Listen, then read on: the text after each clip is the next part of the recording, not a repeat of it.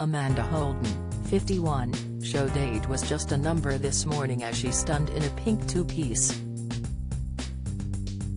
The Britain's Got Talent presenter stunned in the bright pink satin top, which featured puffed sleeves.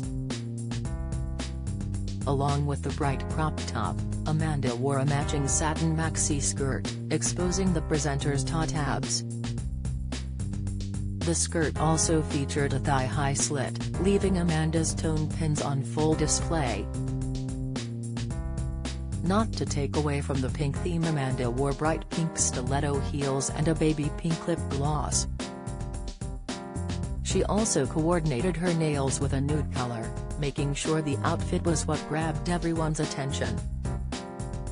Amanda kept her signature blonde dresses straight and went for a smoky-eyed look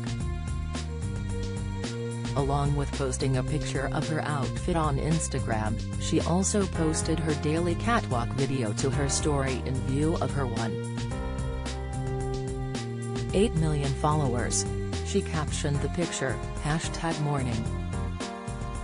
Many social media users rushed to the comments to compliment the star on her winning Monday morning look. Melissa Otabosh said, who looks that fire at that time in the morning. Her colleague Ashley Roberts added, pretty in pink. Fandle underscore Scott commented, pretty in pink has arrived.